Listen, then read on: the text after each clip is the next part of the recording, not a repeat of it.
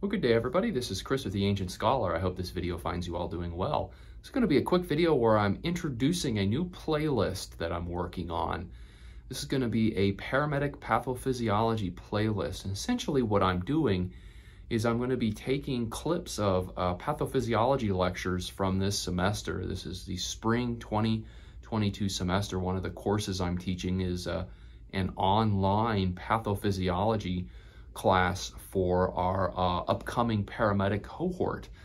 So what I have to do is as uh, I am recording the lectures, I have to go back and I have to ensure that I don't have student information in the videos that I'm posting. So I have to scrub that out.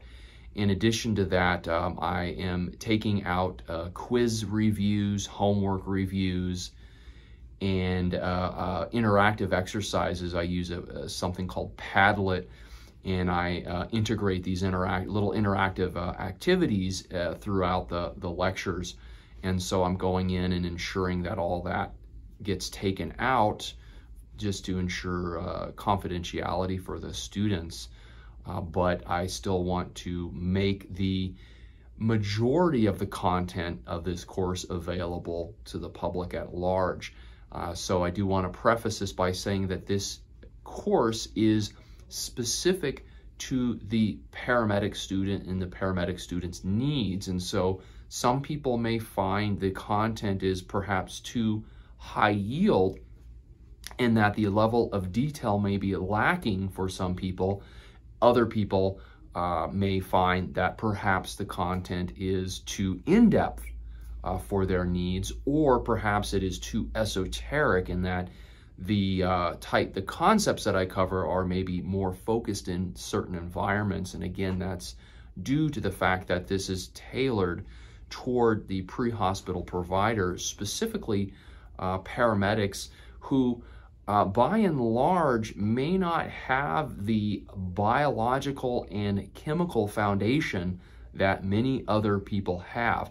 And so part of this pathophysiology course is building that biological and chemical foundation in and at least providing uh, some high yield chemical and biological uh, scaffolding uh, for these students prior to them progressing into the more advanced topics such as pharmacology and the, the core paramedic pipeline.